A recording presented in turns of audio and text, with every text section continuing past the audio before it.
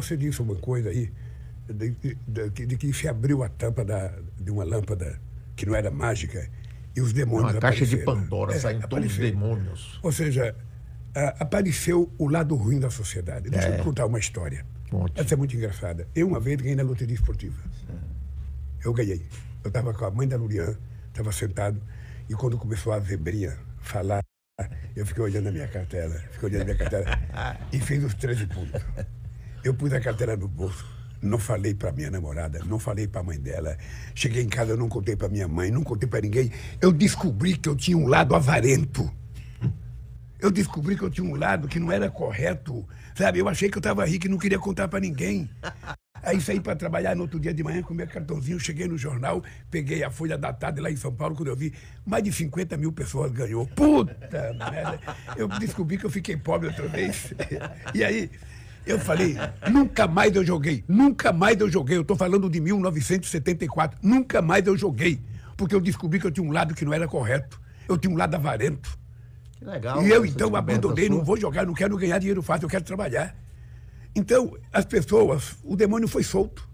Então as pessoas não têm mais vergonha de dizer que defende a tortura, É, sabe? Que não doido, gosta é. de negro, que não gosta de pobre, que não gosta de sindicalista, que não gosta de trabalhador rural pequeno, que não gosta. Sabe, as pessoas têm orgulho. Porque toda vez, Mário, que você estiver num restaurante e alguém te ofender, você pode ter certeza que o cara que te ofendeu é o 71. Pode ter certeza. Faça a denúncia que você vai provar que ele é estelionatário, ele tem 18 passagens pela polícia, porque um homem sério, mesmo sendo de direita, se você estiver passando na rua ou no restaurante, ele Tá. não te ofende. Concordo Ele respeita, como a Bíblia da democracia ensina. Democracia é a gente saber que a gente tem direito a tudo, desde que a gente respeite o direito dos Isso. outros. É isso que é democracia. Então nós precisamos vencer essa gente. Nós precisamos vencer. E temos que vencer ela. É, todo mundo sabe. Todo mundo sabe.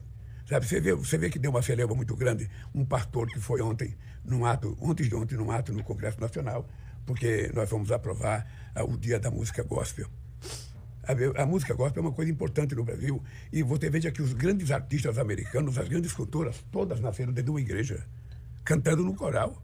Então é uma coisa de muito valor. E aí o deputado que foi lá da bancada ruralista, acho que é do Pará, e o deputado fez uma, uma, uma- uma declaração dizendo que não votou em mim, dizendo que muitos evangélicos não votaram em mim, mas ele reconhecia que tudo que beneficia o evangélico foi feito por mim sabe? O dia, o dia, o dia dos evangélicos, a, a lei do silêncio que eu não deixei passar, sabe? Um dia do pastor, ou seja, tudo, tudo fui eu que criei para a igreja evangélica. Ele reconheceu isso. E eu fiquei com vontade de perguntar, se você sabe disso, por que, você votou no Bolsonaro?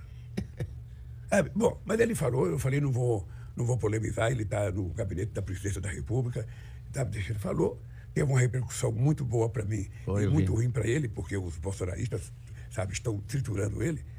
E isso é, é assim, todo mundo sabe que eu fui o presidente que mais fiz de universidade nesse país.